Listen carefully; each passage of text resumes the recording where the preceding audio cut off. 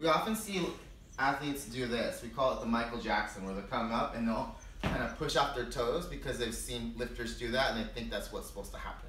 One of the things that we've done with the Burgener warm up was is we've kind of changed the phraseology. Instead of down and finish, we say jump and finish. Because the idea is we want to push hard to the floor, and if you happen to come up with your toes kind of extending at the bottom, it happens as a freebie. It just sort of happens. It's not, I, I'm consciously pushing off my toes. So instead what I'm trying to do is I'm going to try to keep my feet flat to the ground as long as I can, push hard to the floor, and I'm going to jump hard and not high. So it doesn't have to be like that, but it's more here. You can see my feet barely come off the ground, but now it's enough for my feet to slide out into that landing position.